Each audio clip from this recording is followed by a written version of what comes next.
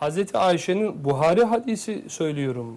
Ee, yani o sarih Yani dediği Hazreti Ayşe, horozu duyduğumuz vakit. o bölümde namaz nısful leyl. kıldığını kabul Nısful leyl. Şimdi bunlar aynı Horoz, bölgenin horoz insanları. nusful leyli örtmez.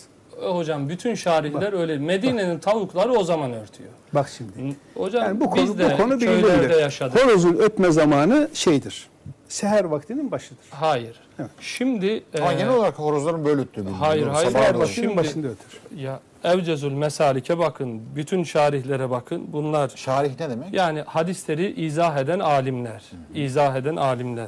Onlar Hazreti Ayşe diyor ki işte اِذَا سَمِعْنَ الصَّارِخَ Horozu işittiğimiz zaman.